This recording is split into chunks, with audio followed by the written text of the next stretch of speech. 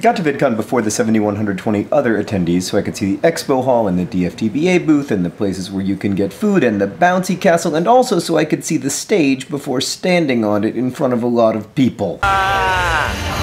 How are you feeling right now? I have to pee. All right, we're ready. Incidentally, Hank, about 98% of the time, those are the last words you say to me before we go on stage. Hank and John Green. God!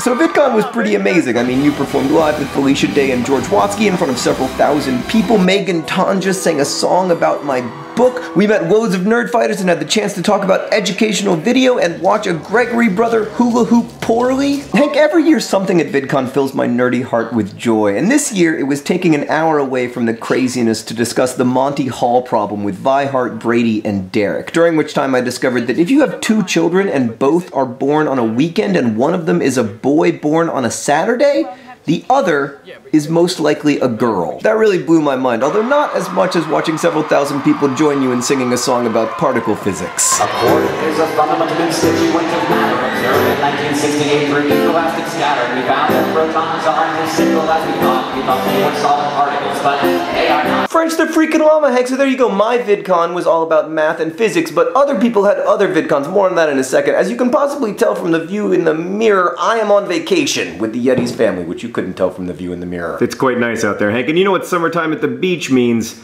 It means it's time to slather on the SPF 50 and read some great literature together. So here in the Nerdfighter Book Club, we're reading Fahrenheit 451, or as I call it when I'm trying to remember how to spell Fahrenheit, Fahrenheit 451. Your first reading assignment is to finish part one of the book, The Hearth and the Salamander, by next Tuesday. Hold on, I'm gonna build a tripod. Better. So Hank, we're both gonna read Fahrenheit 451, and we're both gonna make videos about it, and our readings will probably be very different, and that will allow us as a community to discuss how best to read, why we read, what we find fulfilling about reading. I'm very excited about this. So Hank, ultimately what I love about reading together is precisely what I love about VidCon. You started VidCon, but we all make it happen together, just as Bradbury wrote his novel, but it doesn't become real until we read it. Of course, even amid shared experience, we're still alone. Like I said earlier, my VidCon was unique, and each reading of every book is unique. But what a comfort it is to share readings and experiences. How lucky we are when we get to be alone together.